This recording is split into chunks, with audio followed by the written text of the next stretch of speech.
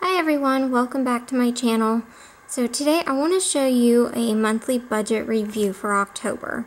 Um, I'm kind of wanting to do this every single month and I think this is just going to help us stay better on track with our spending and stay a little more accountable.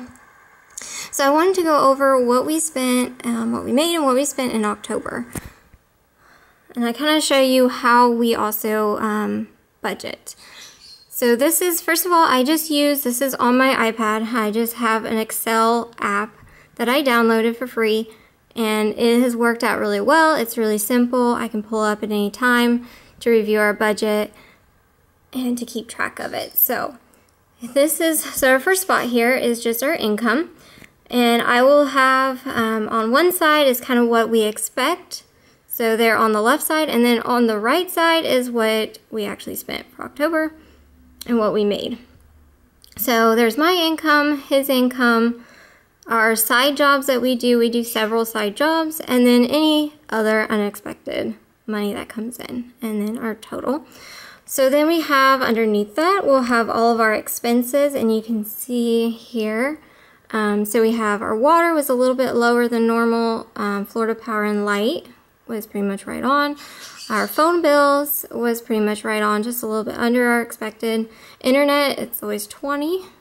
Health insurance is, I her health insurance is really low right now, um, but it is going to go up at the beginning of next year because they are getting rid of our plan. So we are going to be going on a new plan and it's probably going to be more expensive.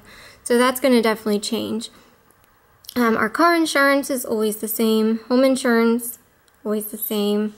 Property tax, we haven't been in this house very long. We just moved.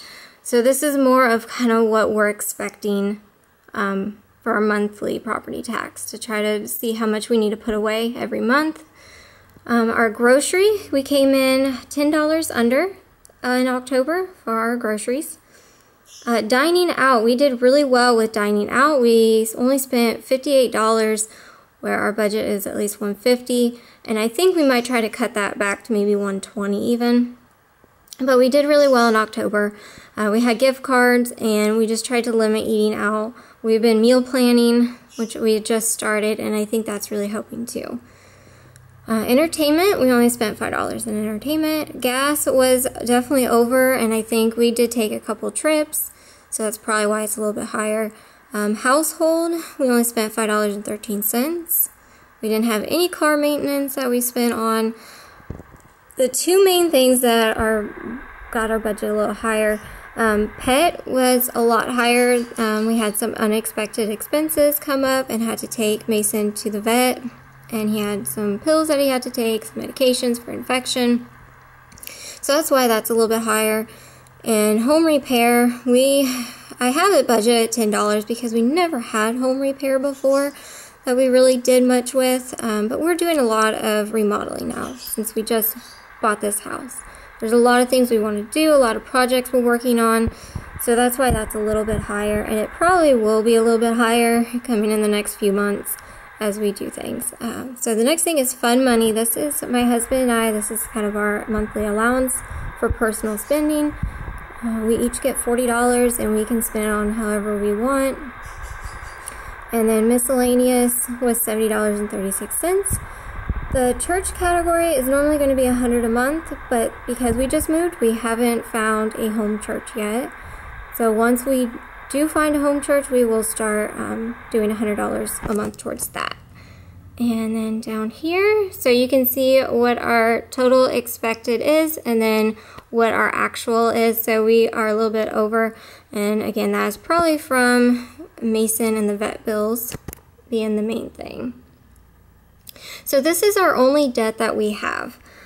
Um, and this was all just recently accumulated. Haverty's is a furniture store. When we moved here, we moved with literally no furniture. We didn't have anything and so we had to go out and get furniture quickly. So we did go and all this all this on here is zero interest. We're not going to pay any interest on any of it.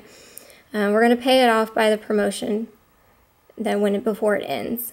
So that was what Haverty's is, is for furniture. Lowe's, we bought uh, some appliances and some different things that we needed from there.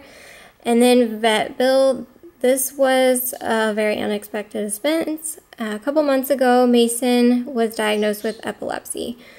So he had had some major seizure attacks. We had to go to the ER. It was very costly. And then he also had to have surgery for an unrelated uh, illness, an unrelated issue to the seizures.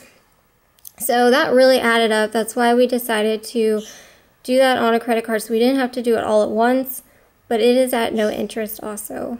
So we will pay that off in that time period. And then you can see the total of what our, so this is our debt that we owe, and then this is after we paid it, this is what we paid down for this month, and what we actually, our payment that we made for this month for our debt. And then you can see the totals there, which still is a little bit higher.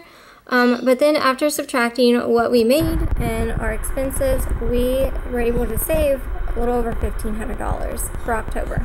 So we still did really well. I'm pretty happy about that. And so that's going to go into our savings. So that is our October monthly budget report. Um, like I said, I'm going to probably be doing this every single month to just try to keep me accountable and to keep our spending so that way I can go over it with you every month and show you how we budget and where we're kind of at in our journey as we pay down the debt that we do have. So I hope you guys enjoyed watching this and I will see you in the next video. Bye!